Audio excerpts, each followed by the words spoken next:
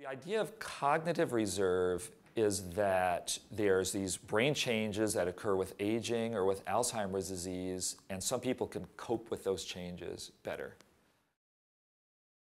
What we've learned is that some people can tolerate a lot more brain change than others before their clinical function is affected.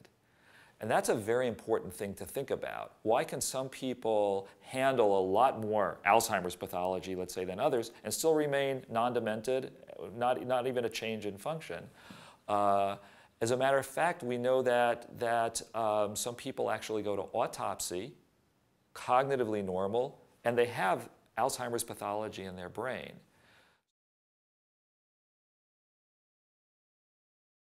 Some of the original studies were done would, would be to take healthy elderly people, follow them over time, and look to see who was more at risk for getting Alzheimer's disease than others.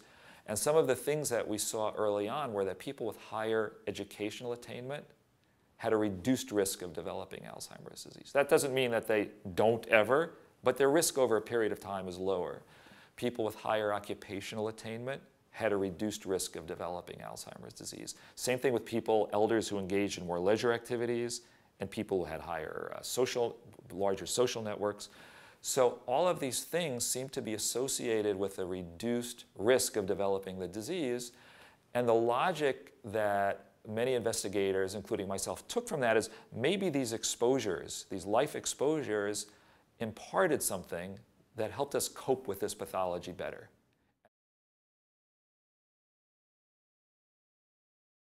It's not that you're born with a certain amount of reserve. It's sort of a very flexible thing. And every experience during life imparts its own piece of reserve. So education is one part of it, but the job you do is another. The leisure activities late in life are another, which suggests that every experience throughout life could impart this reserve.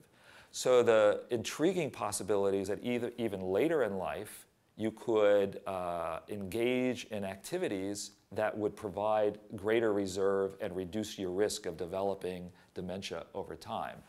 Exactly what that recipe would be is not known. That's a matter of research.